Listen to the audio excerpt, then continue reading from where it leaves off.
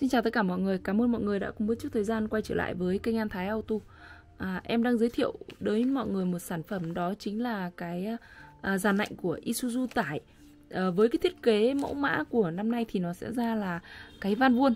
À, Van vuông anh em nhé. Vẫn là ra đầu uh, Cozen R12 cho chúng ta để độ chế này.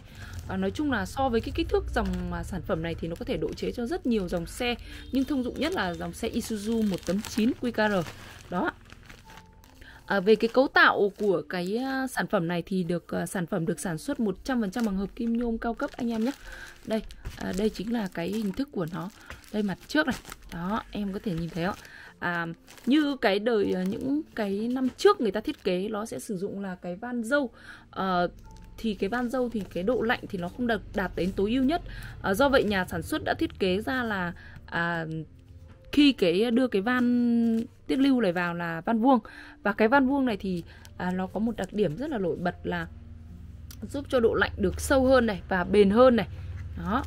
À, vừa rồi thì à, em có vừa giới thiệu à, sơ qua anh em cái sản phẩm đó chính là cái dàn lạnh độ chế cho xe Isuzu 1 tấn 9 ra van vuông. À, đó. Đây đây chính là cái à, mặt trước của cái sản phẩm nha anh em nhé. À, Cảm ơn mọi người đã cùng bước chút thời gian xem video của em. Hẹn gặp lại mọi người trong những video kế tiếp. Em xin chào.